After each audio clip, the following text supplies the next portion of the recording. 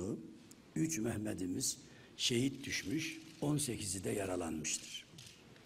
Şehit askerlerimiz arkalarında gözü yaşlı eş, ana ve baba bırakarak dualar eşliğinde son yolculuklarına uğurlanmışlardır. Aziz şehitlerimize Cenab-ı Allah'tan rahmet niyaz ediyor. Kederli ailelerine, silah arkadaşlarına ve aziz milletimize başsağlığı dileklerimi iletiyorum. Halen tedavi altında bulunan evlatlarımıza da acil şifa, şifa temenni ediyorum.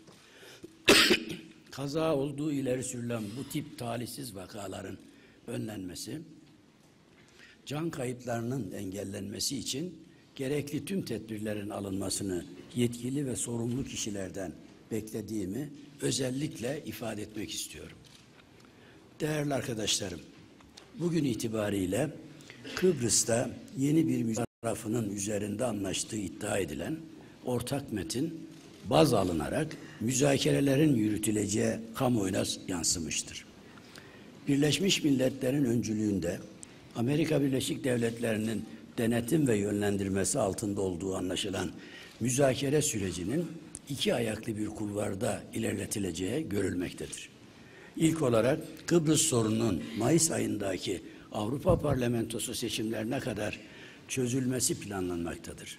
Bunda başarı sağlanamazsa ikinci etap devreye girecek ve müzakereler ülkemizdeki Cumhurbaşkanlığı seçiminin arkasına bırakılacaktır. Şu saate kadar Rum kesimiyle Kuzey Kıbrıs Türk Cumhuriyeti üzerinde mutabakatın temin ettiği ortak metin tüm yönleriyle açıklanmamıştır. hükümet adeta hükümet adada adil ve kalıcı bir çözüm parolası ile tarafların masaya oturmasını dikkatle izlemeli, Kıbrıs davasından geri adım atacak ödünlere fırsat vermemelidir. Bize göre Kıbrıs konusunun tekrar gündeme gelmesi oldukça ilginç ve üzerinde durulması gereken bir zamana denk düşmüştür. Doğu Akdeniz'deki enerji hesapları, İsrail, ABD ve Rum yönetimi arasındaki paslaşmalar Kıbrıs'ı milli tezlerin aleyhine olacak bir güzergaha sokmuştur. Bu çerçevede 2011 yılının Eylül ayında Güney Kıbrıs Rum kesiminin tek taraflı ilan ettiği münhasır ekonomik bölge kararının Kıbrıs meselesini farklı bir mecraya çektiği tartışmasızdır. Rumların adaya hakimiyet kurma arayış ve özlemleri Türk toplumunu sindirme ve silme çabaları uluslararası toplumun açık ya da örtülü desteğini her zaman almıştır. Anlam planı kapsamında 24 Nisan 2004 tarihinde yapılan referandumdan çıkan Yes be annem iradesi bir yönüyle Rumlara ve Batı planlarına taviz olmuş, adadaki Türk varlığına karşı bitmeyen mücadelelere yeni bir halka eklemiştir. Başbakan hükümeti Kuzey Kıbrıs Türk Cumhuriyeti'nin egemen bir devlet olarak uluslararası sistemde tanınması için gerekli mücadeleyi gösterememiş, ambargoların kaldırılmasını sağlayamamış, Kıbrıs konusunu Avrupa Birliği parantezinden çıkaramamıştır. Kaldı ki buna da samimiyetle niyet etmemiştir. Bugüne kadar sağlıklı, eşitliğe dayalı, hakkaniyeti gözeten, iki kesimliliği garanti altına alan, çözüm modellerini tıkayan her zaman Rum kesimi olmuştur. Anlam planından sonra yeni bir çözüm edebiyatının başlaması yıllardır bir arpa boyu mesafe anlamayan görüşmelerin farklı bir pencere açılarak sürdürülmesi bize çok umut verici ve inandırıcı gelmemektedir. Görünen odur ki Avrupa Birliği, ABD'yi ve İsrail'i arkasına alan Rum kesimi adadaki Türk toplumunu çözüm ve müzakere ambalajından yorarak, bezdirerek çözülmesini hedeflemektedir. Kıbrıs Türk Futbol Federasyonu'nun Rum kesiminin federasyon şemsiyesi altına girmesi aslında kaydedilen mevzilerden birisi olarak akıllardadır. Başbakan hükümetinin olan biten olumsuzluklara müsait ve hazır olduğuna dair güçlü emareler çoktandır mevcuttur. Kıbrıs meselesi Türk milletinin kaderini ve Türkiye'nin güvenliğini ilgilendiren milli ve stratejik bir davadır. Kıbrıs Türk halkının kimliğini koruması ve kazanılmış haklarının çarçur olmaması çok ama çok önemlidir. Bizim için adada adil, kalıcı ve içi kesimliliği teminat altına almayan hiçbir plan, proje, karar meşru ve geçerli olmayacaktır. Kıbrıs Türklüğünü sığınmacı, yurtsuz, ikinci sınıf insan yapma teşebbüslerini 1974'ün rövanşını almaya dönük hamleleri asla kabul etmeyeceğimizi bu vesileyle ilan ediyorum. Dileğim yeni müzakere sürecinin Kıbrıs Türklüğünün çıkarlarını ve egemenlik haklarını tescil etmesidir. Biz henüz ayrıntılar ortaya çıkamayan, çıkma, çıkamayan bu müzakere sürecini çok yakından özenle ve titizlikle izleyecek, Kıbrıs'ın Türklüğünü kararlıca savunmaktan vazgeçmeyeceğiz. Muhterem arkadaşlarım, bildiğiniz üzere 2013-2014 eğitim ve öğretim yılı 16 Eylül 2013 tarihinde başlamış, 24 Ocak 2014 günü de ara tatile girmiştir. Sayıları 17 milyonu bulan öğrencilerimizle yine sayıları 800 bine yaklaşan öğretmenlerimiz 15 günlük dinlenme süresini doldurduktan sonra yeni döneme dün itibariyle başlamışlardır. 2013-2014 eğitim ve öğretim yılının ikinci yarının, yarı yılının başında öğrencilerimize ve öğretmenlerimize üstün başarılar, ailelerine de kolaylıklar diliyorum. Milli eğitim sisteminin birçok sorunu olduğunu biliyor ve yakından izliyoruz. Geleceğimizin teminatı, sevgili çocuklarımızın siyasi dürtülere, siyasi emellere kurban verildiğini de üzülerek görüyoruz. AKP hükümeti milli eğitim sisteminin ahengini bozmakla kalmamış, yarınlarımızı sabote etmiştir. Bizi kaygılandıran en temel meselelerden birisi eğitim ve öğretimdeki millilik vasfının küllenmiş ve karartılmış olmasıdır. Bu durum milli bekamız ve milli varlığımız açısından ilave riskler doğurmuştur. Eğitim ve öğretim sistemi üzerindeki keyfi oynamalar, sorumsuz ve gayrimilli tercihler, öğrenci öğretmen arasındaki uyum ve bağ çarpıt, çarpıtmış ve dejenere etmiştir. Milli eğitim yapısı içinde devrilmedik çam, kırıp dökülmedik değer bırakılmamıştır. Başbakan Erdoğan'ın iptidai mizacı, otoriteryen eğilimi, eğitim ve öğretim hayatını baştan sona kasıp kavurmuş, sisteme ağır hasarlar, hasar vermiştir.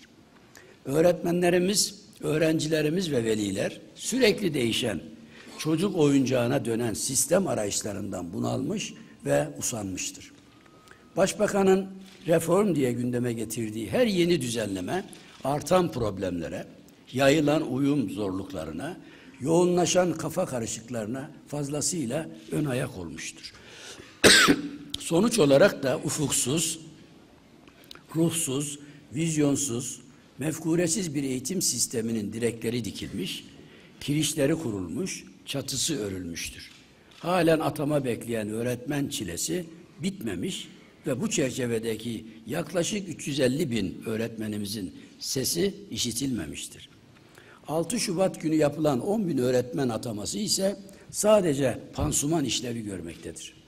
Biliyorum milli eğitim kadrosuna katılmak için gün sayan, dayanacak mecalleri kalmayan yüz binlerce kardeşim zor durumdadır. Çaresizlik içinde kıvranan öğretmenlerimizin öğrencilerine ve sınıflarına kavuşmaları geciktikçe psikolojik travmalar ve intiharlar sıklaşmaktadır. Geçtiğimiz günlerde ata, atanamadığından dolayı hayatına son veren Sakarya Üniversitesi felsefe bölümü mezunu Canan Doğan bizi çok üzen en son kayıp olmuştur. Atamayı dört gözle, sabırsızlıkla ve zorluklara katlanarak bekleyen öğretmenlerimizin feryatları duyulmalı, bu sosyal kangren tedavi edilmelidir. Sormak istiyorum ki, Başbakan Erdoğan her tarafa harcayacak para bulmuştur da sıra öğretmenlere gelince mi bütçe imkanlarını hatırlamıştır? Suriyeli sığınmacılara iki buçuk milyar doları yağmur gibi saçarken veren el olmuştur da konu öğretmenler olunca mı anında araziye uymuştur? ayakkabı kutularına deste deste para dizen rüşvetçi iktidar, emeklerinin karşılığını isteyen kardeşlerimize kalp gözünü kapatmamalı, vicdanen duyarsız durmamalıdır. Sorgulamamız gereken şu çelişkileri hepinizin takdirine sunuyorum. Taktıkları kol saatinin fiyatı 700 bin lirayı bulan bakanlar her şeye layıktır. Fakat öğretmenlerimizin karın tokluğuna çalışmaya talip olmaları bile çok görülmektedir. Para kasalarına sıkıştırılan milyon dolarlarla azam bakan çocukları, iş takibi yapan iş adamlarını markaja alan, kamu arazilerini zimmetine geçiren başbakan çocukları masumdur, komplo kurbanıdır. Ancak hakkını isteyen öğretmenler suçlu ve hadlerini aş, aşmaktadır. Başbakanın birinci derece sit alanlarına villa yapması, devlet hazinesini ona buna peşkeş çekmesi normaldir ama öğretmenlerimizin çalışmak istemeleri, hakları olan siyasi tasarrufu talep etmeleri anormaldir. Falsolu davranışa girmektedir. Sayın Başbakan böylesi vicdansızlık, böylesi adaletsizlik emin ol ki ne Angola'da, ne Zambiya'da, ne Tanzanya'da, ne de Uganda'da, ne de Honduras'ta vardır. Hükümet Türkiye'yi her zeminde küçük düşürmekle kalmamış, milyonlarca Türk vatandaşını yokluğa, yoksulluğa, açlığa, muhtaçlığa terk etmiştir. Nasılsa başbakanın işleri tıkırındadır. Nasılsa kurduğu soygun çarkının haram geliri kendisine akmaktadır. Deve kuşunun başı nasıl kuma gömülüyse bunların başı da kutulara girmiştir. Şu anda atanamayan her mazlumun, ücretli köleliğe maruz kalan her eğitim neferinin vebali başbakanın omuzlarındadır. Türkiye'nin muazzam bir öğretmen açığı varken devletimizin imkanları kadrolu öğretmen istihdam etmeye yetecekken atanamayanlara ek olarak herhangi bir güvencesi olmayan öğretmenleri ücretli çalıştırmakla çalıştırmak da ahlaken ve hukuken sorumludur. Şu müjdeyi açık açık muhataplarına bildiriyorum. Milliyetçi Hareket Partisi'nin iktidarında öğretmen açığı kapatılacak. Atanamayan bir öğretmen dahi kalmayacaktır. Izdırap içindeki kardeşlerim merak etmesinler. Kasalarını dolduranların sandıkları boşalacak. Milli irade kabarık faturayı ilk olarak 30 Mart'ta bu sefalet yuvalarına kesecektir. Muhterem milletvekilleri, AKP iktidarı her alanda olduğu gibi milli eğitim sistemini de yozlaştırmış, yalana ve dolana mahkum etmiştir. Eğitim ve öğretim hayatının siyaset ve saltanat aracı yapılması milletimize karşı işlenmiş en adi suçlardan birisi olmaya adaydır. Görüyorsunuz dershaneler konusu üzerinde estirilen fırtına gittikçe kuvvetlenmektedir. Başbakanın kim ve garaz dolu tutumu dershanelerin siyasetin gündemine oturmasına neden olmuştur. Türkiye Büyük Millet Meclisi'ne sevk edilen dershaneleri içine alan kanun tasarısının kendi içinde birçok tutarsızlığı ve tartışılacak yönü olduğu her türlü izahtan varestedir. Şunu hemen söylemek isterim ki bizim dershanelere bakışımız net, duruşumuz bellidir. Hatırlarsınız bu kapsamdaki yorum ve değerlendirmelerimizi en son olarak 19 Kasım 2013 tarihli meclis grup toplantımızda açıklamıştık. Hükümet dershaneler bazında sürdürdüğü gerginlik politikasını yıllarca beraber yürüdüğü ve işbirliği yaptığı camiayı cezalandırma fırsatı olarak görmektedir.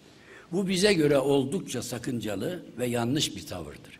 Yani dershanelerin kapatılması bir ihtiyacın eseri değil de sürekli ivme ve mevzi kazanan sürtüşmenin cephanesi olarak telakki edilmektedir. Başbakan meclisteki sayısal çoğunluğuna güvenerek mücadele ve kavga ettiği grubu sindirmek ve zorda bırakmak için her yolu denemektedir. Bir defa böylesi akıl tutulması dershanelere dürüstçe bakılmadığına, kapatılmayla ilgili hedefin hakikaten de isabetli olmadığına delildir. Daha önce de dile getirdiğimiz gibi dershanelerin kapatılması ilkesel düzeyde benimsemediğimiz bir husustur. Fakat öncelikle dershanelerin ihtiyaç olmaktan çıkarılması ve milli eğitim sisteminin beklentileri yeterince karşılaması lazımdır. Evlatlarımızı dershanelere mahkum eden yürürlükteki bozuk ve bulanık sistem değişmeden yapılacak her hamle, alınacak her karar boşlukta kalacak, bir ayağı sakat olacaktır. Öğrencilerimizi dershane kapısına mecbur eden sistem tüm yönleriyle ele alınmadan dershanelerin tedrici olarak kapanmasına dönük gerekli planlama, hazırlık ve altyapı oluşturulmadan bu meyanda sırf hesaplaşma adına öfke saçmak doğru ve insaflı mıdır? Yine merak ediyoruz ki Başbakanın dershaneleri kapatma inadında Oslo'daki müzakerelerin de tesiri vardı, var mıdır? Ağzının perhizi olmayan, dilinin ayarı kalmayan, zihninin dikişleri sökülen başbakanın şuursuzca davranması şüphesiz ki kendisine kaybettirecektir. Dershane kapatma meselesini silah gibi kullanan, eğitim hayatının dokusunu zedeleyen bu zihniyet dikkat etsin ki tuttuğu namlunun ters tepmesi direkt kendisini vuracaktır. Bizi düşündüren bir başka mesele ise dershanelerde görev yapan öğretmenlerin KPSS şartı aranmadan yalnızca sözlü sınavla milli eğitim sistemine dahil edilmeleriyle ilgili hazırlıktır. Bu haksız, ucube ve sorumlu kararın adaletsizliğin tescili olacağını şimdiden söylemek ve bildirmek isterim. Dershane öğretmenlerini mülakatla alma niyetinde olan hükümet, acaba atanamayan, yıllardır gözyaşı döken kardeşlerimize ne diyecek? Bahane olarak neyi gösterecektir? Atanamama zulmüne uğrayan öğretmenlerimizin suçu ve günahı nedir? Burnu kaf dağında olan başbakan, söz konusu haksızlığın tarafı ve sahiple, sahipleneni olmaktan vazgeçmelidir. Ayrıca dershane kamuflajı altında ataması yapılan öğretmenlere en az bir yıl çalışmalarının ithamında şayet disiplin cezası almamış ve belirlenen performans kriterlerine göre başarılı olmuşlarsa yazılı ve sözlü imtihanlara tabi tutulmalarını getirilecektir. Anlaşılan memuriyete yeni başlayan öğretmenlerimiz siyasi görüşlerine ve hükümet hükümete yakınlıklarına veya uzaklıklarına göre değerlendirilmeye alınacaklardır. Kim ne derse desin bu fahiş hata yasalaşırsa öğretmenlerimizin iş güvencesi tehdit altına girecek, yandaşlık özendirilecek, AKP öğretmenliği adı altında yeni bir kariyer grubu oluşturulacaktır. Başbakan hükümetinin Milli Eğitim Bakanlığı'na da müsteşar dışındaki tüm üst düzey kadroları boşaltma, tüm makamları tasfiye etme sinsiliği de yeni ve şiddetli bir kadrolaşmanın habercisi olarak okunmalıdır. Dört yıl ve üzerindeki okul müdür ve yardımcılarını bile hedef alan hükümet yangına adeta körükle gitmektedir. İnancım odur ki Türkiye Büyük Millet Meclisi'nin saygın üyeleri başbakanın egolarına, akıl kârı olmayan siyasi yanlışlarına ve nihayetinde milli eğitim üzerindeki tahribatlara izin vermeyeceklerdir. Aydınlık yarınlarımızın hazırlayıcısı, umutlarımızın kaynağı muhterem öğretmenlerimiz başbakanın ipini çekecek, kendilerine reva görülen zorbalıkların, hukuksuzlukların bedelini inşallah ödetecektir. Öğretmenlerimiz bugünleri unutmamalıdır. Günü saati geldiğinde kalem tutan elleriyle başbakanın üzerini çizmeli ve demokratik güçlerini dosta, düşmana göstermelidirler. Değerli arkadaşlarım, siyaset her neviden toplumsal ve ekonomik sorunların ele alınıp bunlara karşılık çözüm yollarının aranıp bulunmasını hedefleyen bir süreçtir. Bu zemindeki kayma ve aşınmalar en başta demokrasiye zarar vereceği gibi milli iradenin istikrarlı şekilde temsilini de sakatlayacaktır. Devlet ve ülke yönetimini ilgilendiren her konu, insanımızın ve gelecek nesillerin her istek ve ihtiyacı siyasetin tutunduğu ana çerçevedir. Siyasetin ideal, ahlak ve meşru düzlemden kopması, içe kıvrılıp çatışma üretmesi, sahip olduğumuz ne varsa tüketecek, ne varsa erozyona uğratacaktır. Tecrübelerimizden çıkardığımız başlıca husus, Türkiye'nin darlık, yokluk ve bunalımlı dönemlerinde siyasetin tıkandığı, bu tıkanıklığın sosyal ve ekonomik açmazları da daha da derinleştirdiğidir. Üzerinde ittifakla mutabık kalacağımız gerçek ise bunun bir kısır döngü olduğudur. Türkiye 10 yıllardır kısır bir döngünün pençesindedir. Toplumsal istikrar, siyasal denge, ekonomik güvenlik bir türlü arzu ettiğimiz kıvam ve seviyeye gelememiştir. Malum çevreler devlet millet arasındaki gerilimi devamlı olarak canlı tutmuşlar. Bunun üzerinden siyasal fayda devşirme hevesine kapılmışlardır. Toplumsal kutuplaşmalar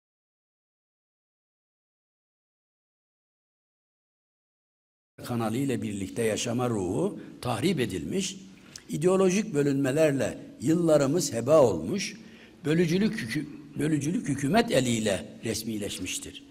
Türk siyaseti çatışma üreten aktörde, aktörlerden demokrasiyi esasda özümseyememiş, milli vicdanı hak ettiği gibi idrak ve temsil edememiş kaos faillerinden dolayı anlam ve değer kaybına uğramıştır. Türkiye'nin siyasi ve ekonomik toparlanması, iç ve dış dengenin kararlı şekilde kurulabilmesi ne yazık ki sağlanamamıştır. Çünkü ülke yönetiminde bulunan siyasi zihniyetlerin uzlaşmaya kapalı durmaları bir yana, intikam hırsları, eski yaraları kanatma, işgüzarlıkları, kendi dışındakileri öteki görme hastalıkları sorunları içinden çıkılmaz yapmıştır. Siyaseti kavga arenasına çevirenler, bozgunculuğu rehber edinenler, milletimizin zamanından çalmış ve tarihin tekerrür etmesine yol açmışlardır. Zamanın ileriye doğru akmasına karşılık milletçe çağın gerisine düşmek, yüz yıl önceki olayların neredeyse, neredeyse tıpatıp benzerlerine muhatap kalmak başka türlü izah edilemeyecektir. Demokrasilerde mirastan yiyen, sürekli sanal çatışma ve gerilimlerle vakit geçiren, kendi dışındaki herkesi tehdit olarak algılayan, teröristlerle masaya oturan bir iktidarın yaşaması şansı şimdiye kadar olmamış, bundan sonra da olmayacaktır.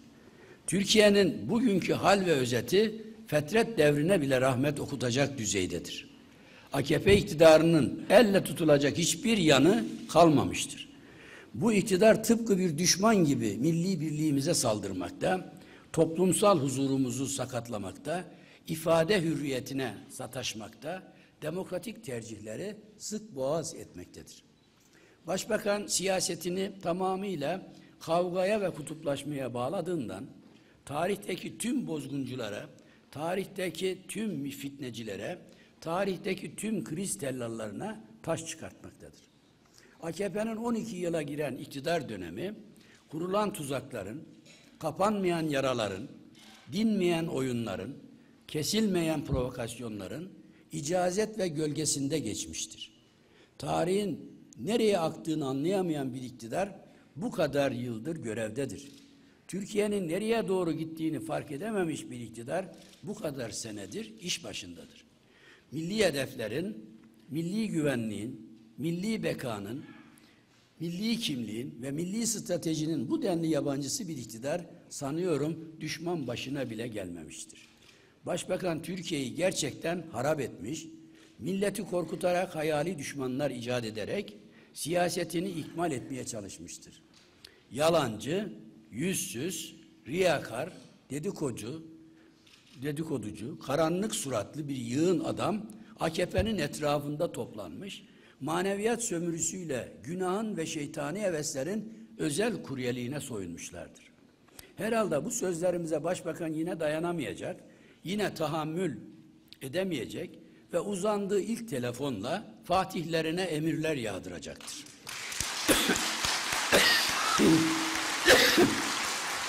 anlaşılan anlaşılan Başbakan Erdoğan'ın paralı askerleri, yandaş lejyonerleri, medyadaki sosyal, sosyal soytarıları 24 saat eksiksiz hizmet vermektedir. Demek ki Alo Fatih hattı biz konuşurken sürekli açık ve çalışır vaziyette.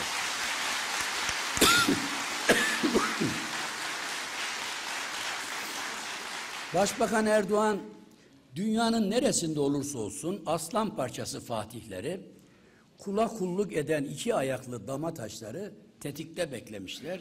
Adeta amuda kalkarak emre amade olduklarını göstermişlerdir. Şimdi de biz Fatihçiklere sesleniyoruz. Alo Fatih, haberiniz olsun. Tehlike büyük çünkü MHP sel gibi, kurşun gibi, fırtına gibi geliyor.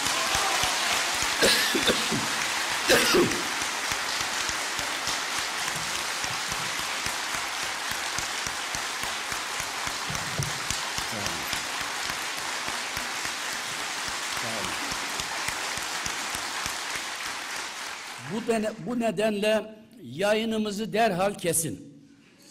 Durum raporunu da sahibinize takla ata ata bildirin. Ve ezile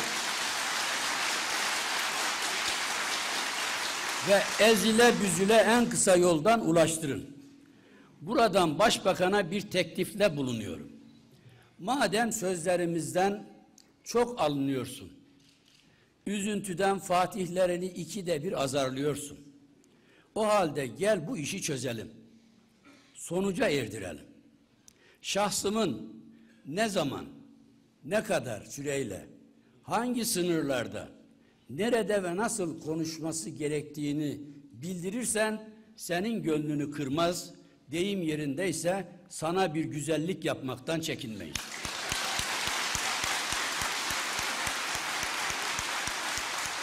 Sayın Başbakan yeter ki sıkma canını. Bu kadar çırpınma. Bu kadar dert etme.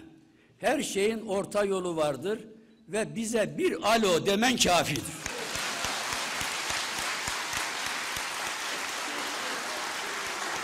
Değerli milletvekilleri, özel hayatın mahkeme kararı olmaksızın dinlenmesi, kayda alınması ve sonra da siyasi spekülasyona malzeme yapılması kesinlikle maruz göremeyeceğimiz, doğru bulamayacağımız bir ahlaki düşlüktür, düşüklüktür. Kanunsuz şekilde kişilerin dinlenip haklarında arşiv düzenlemesi büyük bir skandal, çok ciddi bir handikaptır. Bu şekildeki bir sapma hali insan hak ve özgürlükleri açısından büyük bir tehdittir. Ha, hak ve hukuk bakımından endişe verici bir kayıptır. İnsanın gündelik hayatına böcek iliştirmek, en özelini deşmek ve bu yolla bilgi istiflemek hepimizin ortak mücadele etmesi gereken bir düzeysiz, düzeysizlik ve seviyesizlik halidir. Ne var ki bir suçun tespiti, ülke ve millet aleyhine olacak bir ilişki ağının teşhisi için yürürlükteki mevzuat gereğince teknik takip ve dinleme ve ses kayıtlarının da mahkeme kararına binaen yapıldığı, özel hayatla ilgilenip ilgili olmayıp hepimizi ilgilendirdiği ortadadır. Bu gelişmelerden başbakanın sızlanmasına ve rahatsızlık duymasına lüzum yoktur. Şayet kamuoyuna servis edilen dinleme kayıtları, sızdırılan tapeler bizzat başbakanın mahremiyetini ilgilendirmiş olsaydı, buna en başta biz karşı çıkar ve kararlılıkla da lanetlerdik. Fakat kazın ayağı hiç de öyle değildir. Bu vesileyle başbakana kendisinin çok sevdiği, geçmişte de sıklıkla kullandığı sözleriyle seslenmek istiyorum. Sayın Başbakan şunu iyi anla ki bu ses kayıtlarının içeriği özel değil, genel, genel, genel ahlaksızlığın daniskasıdır. Başbakan işi gücü bırakmış, Milliyetçi Hareket Partisi'ni takibe girişmiştir. Bu elbette bizim için memnuniyet vericidir. Başbakan bizi ne kadar izlerse, ne kadar dinlerse, ne kadar örnek alırsa o kadar çok şey öğrenecek ve doğruyu görecektir. Ancak kendisi bizden istifade için değil, sesimizi kısmak, ekranlardaki nefesimizi kesmek için çırpınmıştır. Muhtemeldir ki şu anda ekran karşısında başını iki el arasına alarak odasında terör estiriyor ve merhum Kemal Sunal'ın bir filminde sürekli dayak yiyen mazlum karakterinin kopyalarını yana döne arıyor. Başbakan nereye gitse gözü bizdedir. Başbakan ne yapsa bir kulağı bize çevrilidir. Başbakan ne yöne dönse karşısında bizi ve hayalimizi görmektedir. Muhtemeldir ki geceleri bile adımızı sayıklamaktadır. 3 Haziran 2013 tarihinde başlayan ve Fas, Cezayir ve Tunus'u kapsayan ziyareti esnasında şahsımı ve partimizi hedef alan faşizan sözleri gündeme bomba gibi düşmüştür. 4 Haziran 2013 tarihinde Türkiye Büyük Millet Meclisi grup toplantımızda paylaştığımız görüşlerimizin haber teyyo ekranlarında yayınlanması Başbakanı çileden çıkarmıştır. Başbakan görüş ve düşüncelerimizin ekran, ekranların altında verilmesine bile sinirlenmiş, Fasto, Fas'tan Alo Fatih hattını tuşlamıştır. Medyanın köç medyanın köçeğine dönen malum şahıs ise can havliyle yayınımızı kesmiş ve haberimizi engellemiştir. MHP'nin görüş ve düşüncelerini ekranlarda alt yazıyla geçmesini bile tahammül edemeyen Başbakan Erdoğan, benzerlerine ancak kapalı devre çalışan dikta yönetimlerinde rastlanacak bir hazımsızlıkla müdahale etmiştir. AKP'nin pravdasına dönen medyanın Milliyetçi Hareket Partisi'ne uyguladığı sansür, fikirlerinin kamuoyuna ulaşmasına, koyduğu şer ileri otokrat başbakanın gözetim ve denetiminde tezahür etmiştir. Bu demokrasi cinayetidir. Bu bağımsız basın anlayışının havaya uçmasıdır. Özgür, tarafsız ve objektif olması gereken medya organları başbakanın tahakkümü altına alınmış, çok seslilik, farklı ses ve yorumlar ahlaksızca bastırılmıştır. Başbakanın moralini bozan medya çalışanları maalesef işten atılmış, ekmeğinden edilmiştir. Demokrasinin en önemli unsurlarından olan haber alma özgürlüğünün kısılması, basın yayın kuruluşlarının başbakanın keyfine ve kirli emellerine teslim olması milli iradeye saygısızlık olduğu kadar demokratik teamüllere de tamamen aykırıdır. Başbakan kişi hak ve hürriyetlerine ket vurmuştur. Başbakan Erdoğan manşetlerde neyin verilip verilmeyeceğini, yandaş kalemlerin neleri yazıp yaz, yazamayacağını tek elden tayin ve tespit eden çakma basın komiseri olmuştur. Bizim anketlerdeki oy oranlarımıza da oynanmıştır. Anket simsarları, anket yolsuzluğunun failleri, başbakanı memnun ve mutlu etmek için bizden almış BDP'ye ilave etmiştir. Biz katranı kaynatmakla şeker olmayacağını bilmenin yanında iki Fatih'ten bir insan sureti çıkmayacağını da bu kadar olaydan sonra anlamış buluyoruz. Artık yandaş ekran bezirganları gerçekten teke tek kalmışlar, baltayı sert kayaya vurmuşlardır. Başbakan Erdoğan, Milliyetçi Hareket Partisi'nin her sözünü bastırmak, her beyanını kundaklamak için ne gerekiyorsa yapmıştır.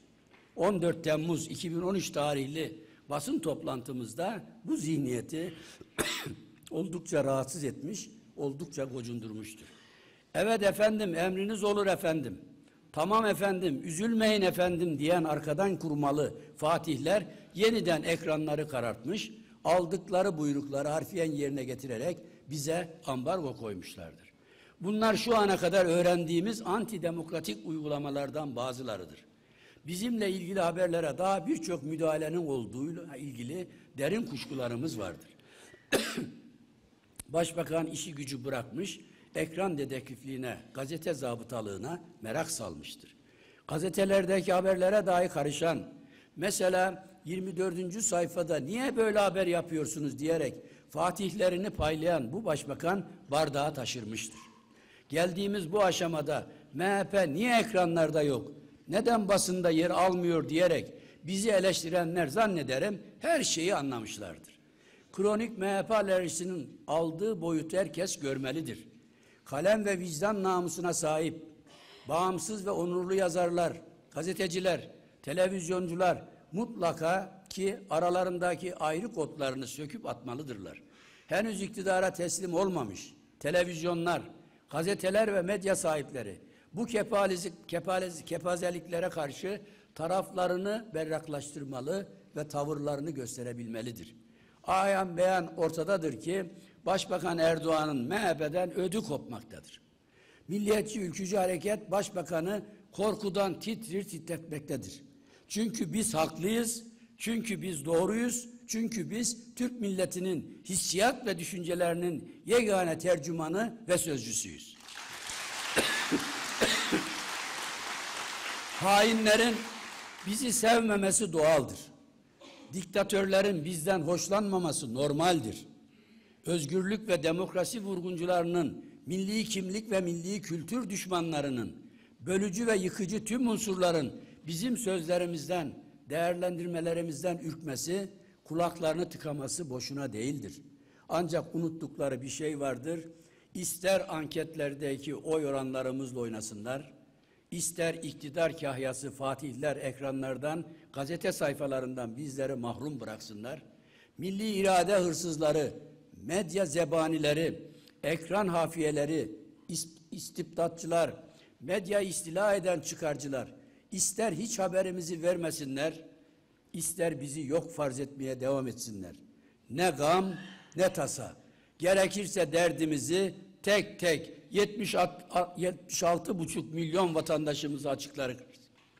Gerekirse dağ bayır demez, gece gündüz demez, son yurdumuzu baştan başa dolaşarak Milliyetçi Hareket Partisi'nin dimdik duruşunu, milli ve manevi değerlerle karılmış dost doğru politikalarını sular seller gibi anlatırız. Ve şunu herkes bilsin ki bunları yapacağız. Satılmış ve yandaşlığın esaret tasmasını boğazına geçirmiş, damatlara köşe vermiş, medya organları bizi haber yapmasınlar, bizden bahsetmesinler. Biz iradenin asıl ve muhteşem sahibine koşacağız. Ve tüm haramzadeleri doğduklarına pişman etmek için iktidar vizesini büyük Türk milletinden isteyecek ve alacağız. O zaman göreceğiz alo Fatihlerin nereye kaçacağını. O zaman göreceğiz yahu Fatih diyenlerin nereye saklanacağını. O zaman göreceğiz vatan hainleriyle işbirliği yapanların vahim akıbetlerini. Değerli milletvekilleri, Türkiye akla hayale sığmayacak rüşvet ve yolsuzluk kıskacında can çekişmektedir. AKP iktidarı hem suçludur hem de suçluların güvencesidir. Başbakan yürütmenin başı olduğunu, götürmede ustalaştığını, aşırmada ve indirmede beceri kazandığını, vurgun ve talanda sivrildiğini iyice ispatlamıştır. Başbakan Erdoğan hafta sonunda İstanbul Ali Beyköy meydanında bir konuşma yapmış ve kendince evlere şenlik bir rüşvet tanımı icat etmiştir. Buna göre rüşveti bir memurla sivilin iş tutması olanlar arasındaki muamelenin adı olarak tasvir etmiş ve bu şekilde tanımlamıştır. Kabineye yeni giren çiçeğe burnunda bir başbakan yardımcısı da yaşanan rezaletleri kamu malına yönelik olarak değil de bir şahsın menfaat elde etmesine dönük iddialar şeklinde yorumlamıştır. Başbakan ve yardımcısının ifadeleri gerçekten de sabırları zorlayan yorumlardır. Rüşvetçileri aklamak için bu kadar kavramlarla oynamak, hırsızlığı ve soygunu kapatmak için bu kadar ipe sapa gelmez sözler sarf etmek, her şeyden önce milletimizin aklıyla ve basiretiyle alay etmektir.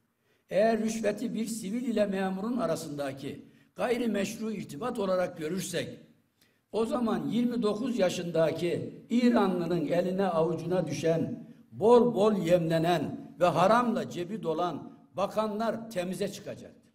Başbakanın adaleti bükerek, akılları çelerek, doğruyla yanlışı ters çevirerek ulaşmak istediği amaç da budur. Bilindiği gibi rüşvet ve kara para aklama suçunun ana aktörü olan sözde İranlı iş adamının mal varlıkları üstündeki tedbir geçtiğimiz ayın son günlerinde kaldırılmıştır. Malum banka genel müdürünün de el çabukluğuyla aynı uygulamaya hak kazandığı görülmektedir. Hukuk blokeli ve siyasi müdahale altındadır. Başbakanın rüşvet tanımından sonra 17 Aralık operasyonunun ibresi değişmeye meyyaldir. Halen 11 tutuklu ve 91 şüphelinin yer aldığı rüşvet ve yolsuzluk soruşturmasına bakan yeni savcı tutuksuz olarak yargılanlara yönelik adli kontrol ve yurt dışı yasağı tedbirlerini de kaldırmıştır. Anlaşılan başbakan hükümeti hazmettire hazmettire hırsız ve rüşvetçileri serbest bırakacaktır. Bize göre başbakanın hayırsever olarak takdim ettiği İranlı şahıs iktidarın yasa dışı iş ve işlemlerinin kara kutusudur. Bu kutunun şifreleri çözülür. Bu karanlık kişi dili çözülür. Ne var ne yok itiraf ederse bakanların ve başbakanın foyası tümüyle ortaya dökülecektir. Başbakan gerçeklerin açığa çıkmaması için ecel terleri dökmektedir. Millete en ağır küfreden, oluşturulan rüşvet havuzuna aldıkları ihalelerden pay vererek medya şirketi alımında kullanılmak üzere 630 milyon doların birikmesine çanak tutan yamuk iş adamları da başbakanın koruması altındadır. Başbakan Erdoğan'ın 8 Şubat 2014 günü Kartal'daki kavşak açılışındaki şu sözleri aziz milletimiz hayret ve kızgınlıkla duymuştur. Şimdi bu tür davalar açıldığı zaman bu insanların piyasadaki itibarları, bunların finans örgütleri, kuruluşları nezdindeki itibarı ne olur? Bu ülkeye ihanet değil de nedir? Soruyorum sizlere. Başbakan böyle söylüyor. Başbakan Erdoğan kendisini de ele verme ihtimal, ihtimallerinden dolayı rüşvetçilerin itibarına kafa yormaktadır. Devletin kaynaklarını vakum gibi cüzdanlarına çeken, hukuksuz ve haksız şekilde ihale alan fesat yuvalarını eleştirmek başbakana göre ihanettir. Sayın Başbakan sorarım sana, haram yemek, haramzadelerle dirsek temasında olmak, kara paracıların dizlerine kapanmak ihanet değil midir? Devlet sözüm, devleti sözüm ona casuslara, dış güçlere, kriz lobilerine, kan baronlarına, ajanlara, paralel yapılara teslim etmek ihanet değil midir? Türk milletine, AKP'ye oy vermiş kardeşlerime, tüm vatandaşlarıma alanen küfür etmek ihanet değil midir? Yolsuzlukların örtülmesi, hırsızlıkların kollanması, hukuksuzluğun hakim olması, rüşvetçi bakanlara ait fezlekelerin meclisten saklanması ihanet değil midir? Çalanlara, yiyenlere, hortumlayanlara, soyanlara, arazileri kapatanlara, hazineyi boşaltanlara, mihmandarlık yapmak, ortakçı olmak, bunların hepsini sevk ve idare etmek ihanetin en büyüğü değil midir? Yazıktır bu millete. Yazıktır Türkiye'ye. Önüne geleni kapan, ardına geleni tepen, işine geleni aklayan, kızdığını haşlayan, hırsızı ve rüşvetçiyi sımsıkı bağrına basan başbakanın hukuken, siyaseten ve ahlaken ömrü çoktan dolmuştur. Son demokratik darbeyi bu zihniyete ve yandaşlarına indirmek AKP'ye oy veren kardeşlerin başta olmak üzere herkes ve hepimiz için vatan ve namus borcudur. Muhterem arkadaşlarım, son günlerin en önemli konularından birisi de internetin denetim altına alınmasıdır. 5651 sayılı internet ortamında yapılan yayınların düzenlenmesi ve bu yayınlar yoluyla işlenen suçlarla mücadele edilmesi hakkındaki kanunun birçok maddesi 7 Şubat günü değiştirilmiştir. Hükümet mahkeme kararı alınmaksızın doğrudan doğruya internete erişimin engellenmesi yetkisini almıştır. Eğer düzenleme Çankaya Köşkü'nden onay görürse Telekom, Telekomünikasyon İletişim Başkanlığı internet üzerinde vesayet kuracaktır. İnternet erişimini baskı altına alan, sanal medyaya kelepçe vuran, bu çağ dışı kararın kabul edilebilir hiçbir yanı yoktur. Elbette internet yoluyla işlenen suçların, yapılan hakaretlerin önüne geçmek önemli ve zorunlu bir ihtiyaçtır. Ne var ki izlenen yöntem arızalı ve kusurludur. Yasaların amacı özgürlüğü kısmak veya kaldırmak değil, korumak ve genişletmek olmalıdır. Şayet kişi hak ve hürriyetleri güvencede değilse demokrasinin bırakınız yaşamasını isminden dahi bahsetmek imkansızdır. Demokrasiden vazgeçmek, özgürlükten taviz vermek, insanlığı askıya almakla eşdeğerdir. Kamuoyu internete getirilen sansüre karşı ortak bir tepkide bulunmuş ve toplumun her kesimi bu yasakçı uygulamayı reddetmiştir. Ümit ederim ki Başbakanın tahammül edemediği, haberlerinin verilmesine çok kızdığı Sayın Cumhurbaşkanı taleplere duyarsız kalmaz, milletimizin beklentisinin hilafına hareket etmez. Türk milletinin hukuk ve demokrasi cinayeti işleyen başbakan hükümetinden kurtulması artık kaçınılmaz bir amaç olmalıdır. İlke, ahlak, haya, heyecan ve esasları kalmayan bir hükümetin çöküşü kaçınılmazdır. Bugünkü hazin tablo hiçbir demokratik ülkede olmayan korkunç bir çürümenin ve soysuzlaşmanın ihsas ve ilanıdır. Sizler kanalıyla aziz milletime diyorum ki yalanla ve cehaletle savaşmak için gerçeği bilecek kadar akıllı ve gerçeği söyleyecek kadar yürekli olmaktan başka şansımız yoktur. Türk milletini demokrasi ve özgürlük pankartı taşıyan paryalarla kimse kimseye dönüştüremeyecektir. Umutlarımızı yakıp yıkan başbakan eğer ki nefsini ıslah etmezse sonu çok feci ve acıklı olacaktır. Kırk tarakta bezi olan başbakanın aklından zoru yoksa milletin sabrını daha fazla zorlamamalı. Hassasiyetiyle daha çok oynamamalıdır. Bu düşüncelerle konuşmama son verirken hepinizi bir kez daha sevgi ve saygılarımla selamlıyor. Başarılarla dolu bir hafta geçirmenizi diliyorum. Sizleri Cenab-ı Allah